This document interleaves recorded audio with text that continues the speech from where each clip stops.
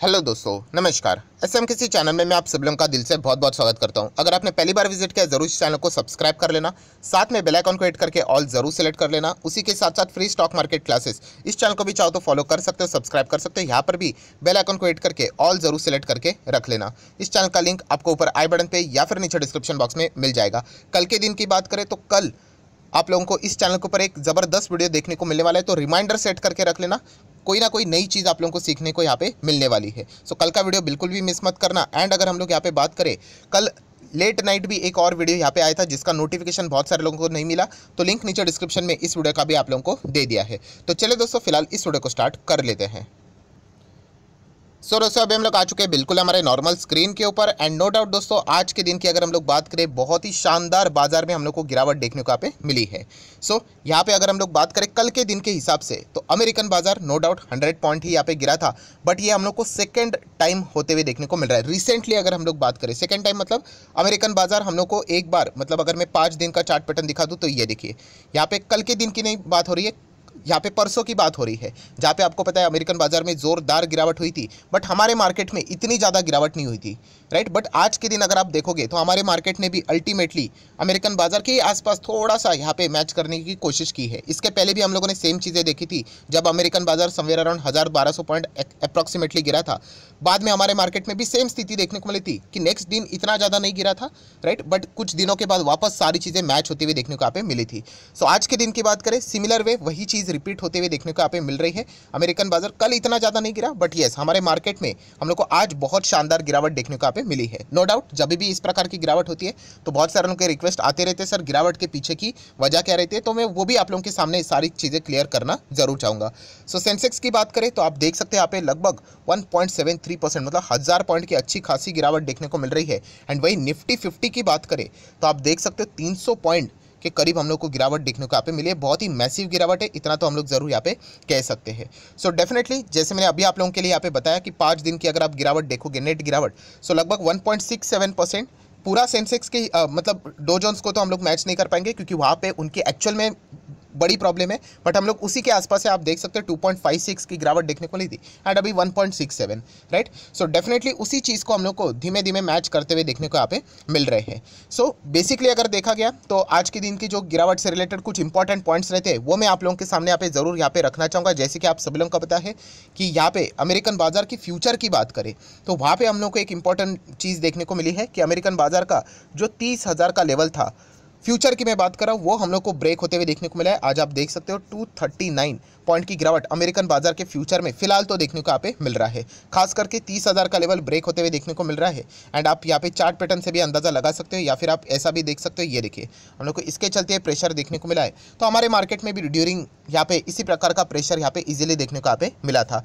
Plus आप सभी लोगों को पता है दुनिया भर के बाज़ार जिसमें खास करके यूरोपियन मार्केट्स के और हम लोग ज़्यादा फोकस रखते हैं। यूरोपियन बाज़ार में भी कल के दिन भी यहाँ पे लगाई था कि यूरोपियन मार्केट में शायद से आ, मतलब फेड के रेट हाइक के हिसाब से अगर हम लोग बात करें, यूरोप की तो हालत तो अमेरिका से भी खराब है।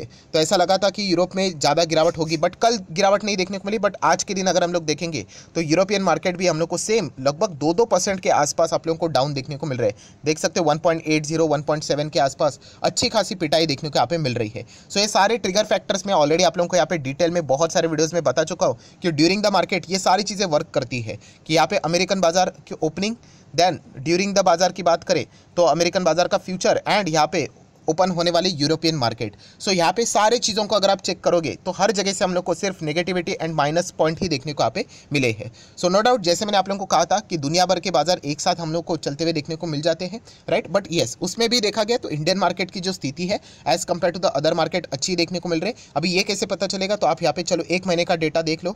यहाँ पे अगर मैं निफ्टी की बात करूँ तो एक महीने का फॉल कितना है हमारा? केवल डेढ़ परसेंट के आसपास है राइट बट वहीं पर अगर आप चेक करोगे तो अमेरिकन बाज़ार में एक महीने का फॉल आप देख सकते हो, साढ़े आठ परसेंट के आसपास है राइट तो इनकी प्रॉब्लम है बट यही प्रॉब्लम हम लोगों को आगे बढ़ने नहीं दे रही है। ये भी मैं बहुत बार आप लोगों को यहाँ पे बता चुका हूँ राइट जैसे मैंने आप लोगों को बताया था, पूरी दुनिया एक दूसरे के साथ इंटरलिंक रहती है तो इसके कारण ये प्रभाव हम लोग को साफ़ साफ़ देखने को मिल जाता है। देन दोस्तों, अगर हम लोग यहाँ पे बात करें, जो सबसे मेन प्रॉब्लम इंडियन मार्केट की अगर हम लोग बात करें तो वो है डॉलर इंडेक्स आप सभी लोगों को यहाँ पे पता है, वो 112 को क्रॉस करते हुए देखने को यहाँ पे मिल रहा है। इसके चलते हम लोग यहाँ पे मतलब आप बोल सकते हो कि यहाँ पे डॉलर की स्थिति कितनी मज़बूत है इससे आप अंदाज़ा यहाँ पे लगा सकते हो। एंड यहाँ पे हम लोग का पैसा आउटफ्लो होते हुए देखने को यहाँ पे मिल जाएगा राइट तो इसके चलते हम लोग को क्या देखने को मिलेगा? यस डॉलर की शॉर्टेजेस देखने को मिल जाएगी। एंड डॉलर का मतलब बोलते हैं ना शॉर्टेजेस देखने को मिल जाएगी तो डिमांड बढ़ जाएगा। एंड डॉलर का डिमांड बढ़ जाएगा तो आप देख सकते हो डॉलर अभी 81 के ऊपर क्लोज होते हुए देखने को यहाँ पे मिल रहा है। वो तो कल भी देखने को मिला था बट इतना ज़्यादा स्ट्रांग हो चुका है। सो so, ये कुछ रीजन है नो डाउट यहाँ पे आरबीआई ने अभी तक तो हम लोगों ने देखा नहीं है कि उन्होंने डॉलर बेचे नहीं उनके पास रिज़र्व रहते। लास्ट टाइम उन्होंने यहाँ पे इंडियन रुपी को बचाने के लिए क्या किया था? बहुत सारा जो रिज़र्व में डॉलर था, उन्होंने वहाँ पे बेचा था। सो इस वक्त क्या आरबीआई ऐसा करेगा या नहीं करेगा, वो देखना पड़ेगा। अभी तक तो उन्होंने एज सच कोई भी स्टेप यहाँ पे नहीं उठाया है। एंड इसी के चलते डॉलर हम लोग को मज़बूत होते देखने को मिल रहा है against the Indian rupee so ये सारे फैक्टर्स अगर हम लोग यहाँ पे देखें तो इसी का परिणाम हम लोग को साफ़ साफ़ इंडियन मार्केट की ओर देखने को यहाँ पे मिल रहा है। हाँ अगर आप ऐसे रीजन ढूँढने जा रहे हो कि, सर, ऐसा कोई स्पेसिफिक रीजन स्पेसिफिक रीजन मतलब क्या? जैसे कि अगर हम लोग बात करें ट्वेंटी में कैसे गिरा था मार्केट कि कोविड से रिलेटेड न्यूज़ आती थी या फिर लॉकडाउन से रिलेटेड न्यूज़ आती थी, वो एक स्पेसिफिक न्यूज़ रहती थी, जिसके चलते बहुत बड़ा शार्प फॉल होता था राइट या फिर रशिया वर्सेस यूक्रेन कोई नया अपडेट सामने आ गया, या फिर चाइना वर्सेस ताइवान कोई ऐसी खबर आ गई तो जिसके चलते एक स्पेसिफिक खबर हमारे पास रहती थी तो उस ऐसी कोई खबर नहीं है। ये एक नॉर्मल बाज़ार में जो ट्रेंड चलता रहता है प्लस माइनस का राइट ट्रेडिंग होती रहती है। वो चीज़ें ही हम लोग को देखने को यहाँ पे मिल रही है। तो इसी के कारण ये सारा फॉल हम लोग को फ़िलहाल तो देखने को यहाँ पे मिल रहा है। नो डाउट इन्फ्लेशन जैसी चीज़ें यहाँ पे अवेलेबल है बाज़ार में एंड जो रेट हाइक देखने को यहाँ पे मिला था, इसके चलते बहुत सारी दिक्कतें भविष्य में ज़रूर देखने को यहाँ पे मिलने वाली है। अगर इसी गिरावट में अगर कोई एक पॉजिटिव पॉइंट है इंडियन मार्केट के लिए तो वो यही है कि हम लोग को क्रूड ऑयल नीचे जाते हुए देखने को यहाँ पे मिल रहा है। अभी क्रूड नीचे क्यों जा रहा है? इसके पीछे का रीज़न भी बहुत ही साफ़ है कि यहाँ पे जो मिस्टर पॉवेल जी ने जो कमेंट्री दी थी राइट एफ़ की बैठक के बाद आप सब लोगों को पता है आउटकम जो उन्होंने बताया था तो उन्होंने बताया था कि लगातार रेट हाइक करते करते करते करते, जो उनका दो परसेंट का टारगेट है इन्फ्लेशन का, उसको मैच उनको करना है। तो माइट भी यूएसए यहाँ पे रिसेशन भी फेस कर सकता है। एंड अगर रिसेशन फेस करेंगे तो ऑब्वियसली क्रूड का फिर डिमांड तो कम ही हो जाएगा। जैसे कोरोना में क्रूड का डिमांड बहुत कम हुआ था तो इसके चलते क्या हो जाएगा कि यहाँ पे डिमांड कम हो जाएगा एंड सप्लाई बहुत ज़्यादा तो ऑटोमेटिकली उस चीज़ का प्राइस नीचे आ जाता है। तो वही क्रूड में भी हम लोग को देखने को यहाँ पे मिला ये सारी चीज़ें दोस्तों, ये मैक्रो इकोनॉमिक्स है। ये हमेशा चलती रहती है, आगे सौ साल भी चलते, चलती ही रहने वाली है। तो ये जैसे मैंने आप लोगों को कहा, इससे रिलेटेड आपको नॉलेज होना चाहिए राइट इस चीज़ों से चलते आप लोगों ने एज अ अगर आप इन्वेस्टर हो तो डरना नहीं होता ये सारी चीज़ें चलती रहती है राइट करोड़ बीच में आप लोग अगर डब्ल्यूटीआई की बात करें, माइनस में गया था, आपको याद भी होगा। एंड यही करोड़ बाद में सौ, डेढ़ सौ भी गया था। तो ये सारी चीज़ें प्लस माइनस चलता रहता है। इसके बारे में जस्ट आप लोगों को नॉलेज जैसे मैंने कहा कि अपडेट आप लोगों को पता होना चाहिए। देन बॉन्ड यील्ड की भी अगर हम लोग बात करें तो नो डाउट इसमें भी हम लोग को ज़बरदस्त जंप यहाँ पे देखने को यहाँ पे मिली है। सो हम कह सकते हैं सेफ़ पैसा रखने के लिए यहाँ पे भी कुछ पैसा हम लोग को ट्रांसफ़र होते हुए ईजिली देखने को यहाँ पे मिल रहा है। सो जैसे मैंने आप लोगों को बताया, ये सारी चीज़ें यहाँ पे बाज़ार में आए दिन चलती रहती है। तो इससे आप लोगों ने ज़्यादा अगेन कह रहा हूँ, अगर आप एक ट्रेडर हो तो डेफिनेटली आप लोगों के लिए ये वीडियोज़ इतने कुछ ज़्यादा मायने नहीं होंगे। मैं इन्वेस्टर लोगों के लिए खास करके वीडियोज़ बनाता हूँ ताकि उनको इससे रिलेटेड कुछ ना कुछ नॉलेज यहाँ पे मिल सके। देन अगर हम लोग यहाँ पे बात करेंगे दोस्तों, यहाँ पे ऑप्शन चेन से रिलेटेड राइट तो इसको मैं बाद में यहाँ पे कवर कर लेता हूँ। एक और इंपॉर्टेंट चीज़ देख लेंगे, कौन सी वाली? तो यस अगर आप सेक्टरल इंडाइसेस भी देखोगे यहाँ पे तो आप देख सकते हैं हर सेक्टर में तो गिरावट तो वैसे है। एंड अगर आप आज चेक करोगे तो सबसे ज़्यादा अगर प्रेशर मतलब ढाई से भी ज़्यादा की गिरावट देखने को मिली है।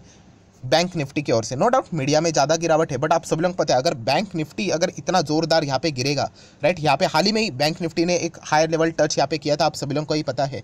तो उसके बाद यहाँ पे जैसे मैंने आप लोगों को बताया कि अठारह लेवल तोड़ने के लिए, नया हाई बनाने के लिए थोड़ा सा विदेश का भी सपोर्ट होना चाहिए। बट विदेश से तो हम लोग को सिर्फ़ और सिर्फ़ यहाँ पे प्रेशर ही हमारे मार्केट में आते हुए देखने को यहाँ पे मिल रहा है। तो उसी के साथ डील करना पड़ेगा। तो शॉर्ट करने वालों को बहुत ईजिली यहाँ पे रीजन्स मिल जाते हैं, जिसके चलते वो ईजिली इन पैनिक सिचुएशन का फ़ायदा उठाकर बहुत ही अच्छी तरीके से यहाँ पे शॉर्ट करके पैसा यहाँ पे कमाते हैं। सो आप बैंक निफ्टी की भी बात करोगे तो आप इजीली यहाँ पे देख सकते हो दोस्तों, आज के दिन ढाई परसेंट से ज़्यादा गिरा।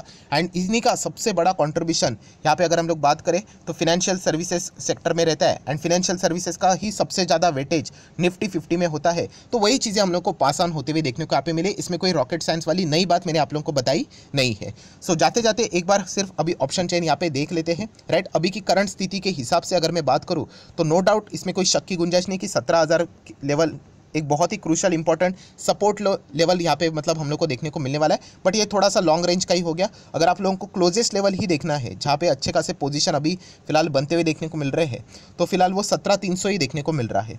राइट ये ड्यूरिंग द बाज़ार ही देखने को मिला था तो एक्सपेक्टेशन था कि बाज़ार कुछ भी हो जाए, सत्रह तीन के ऊपर ही क्लोज रहेगा तो वैसी क्लोजिंग हम लोग को देखने को यहाँ पे मिली है। सत्रह तीन सौ सत्ताईस तीस के आसपास ही रफली कुछ क्लोजिंग हम लोग को देखने को यहाँ पे मिल चुकी मतलब मिल चुकी है।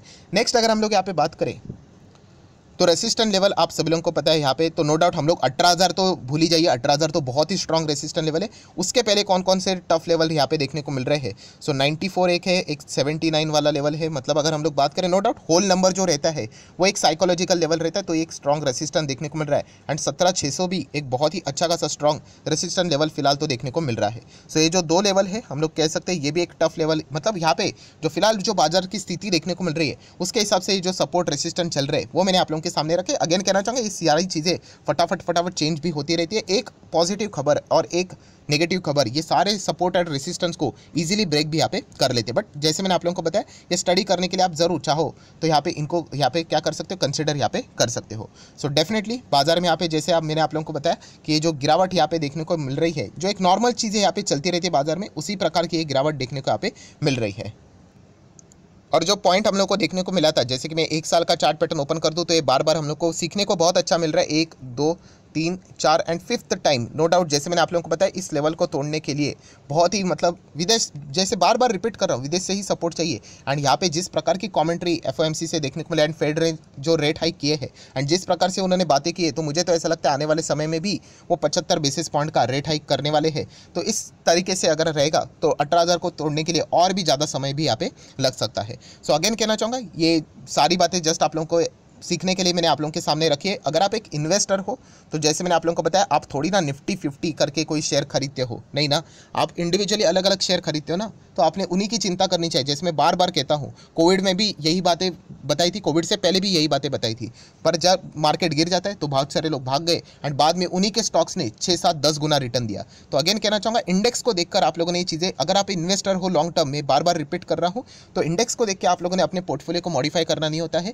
अगर आपकी कंपनी में कुछ इशू है तो आप वो डिसीज़न ले सकते हो। अगर आपकी कंपनी बहुत ही अच्छा बिज़नेस कर रही है एक्सपांशन की बात करें कैपेक्स कर रही है तो ज़रूर बने रही है ये चीज़ें मार्केट में आप आए हो ना तो इसके साथ फ्रेंडशिप करना पड़ेगा। ये रोज़ का है राइट अभी कल परसों बाज़ार बंद है मंडे को स्टार्ट हो जाएगा, वापस ये पाँच दिन ये झमेला चालू रहेगा राइट इसके चलते अगर कोई यहाँ पे टॉर्चर हो जाता है एंड बाज़ार छोड़ने की बात करते हैं एज अ इन्वेस्टर तो फिर वो लंबी पारी नहीं खेल पाएगा राइट क्योंकि ये सारी चीज़ें यहाँ पे चलती रहती है। सो एज अ इन्वेस्टर आपको टिकना आना चाहिए राइट निफ्टी क्या आज मतलब सत्रह है, कल अठारह कभी तो जाएगा, फिर उन्नीस, बीस, तीस भी जाएगा राइट सो पेशेंस भी होना चाहिए। ये सारी बातें भी आप लोगों को पता होनी चाहिए। सो बाज़ार में क्या क्या प्रेशर है क्या क्या दिक्कत है, सारी चीज़ें मैंने जस्ट आप लोगों को यहाँ पे बता दी है। सो वीडियो अच्छा लगे तो चाहो तो इसको लाइक एंड शेयर कर सकते हो। एंड लिंक नीचे डिस्क्रिप्शन बॉक्स में दे दिए 25 वीडियो की लिस्ट आप लोगों को बिल्कुल फ्री ऑफ़ कॉस्ट मिल जाएगा। आपका नाम एंड कौन सा लिंक के थ्रू अकाउंट ओपन किया है डिमेट अकाउंट ओपन किया ज़रूर कमेंट सेक्शन बता देना। तो हफ़्ते भर के अंदर अंदर ही सारी वीडियोस आप लोगों को फ्री ऑफ़ कॉस्ट प्रोवाइड कर दिए जाएँगे।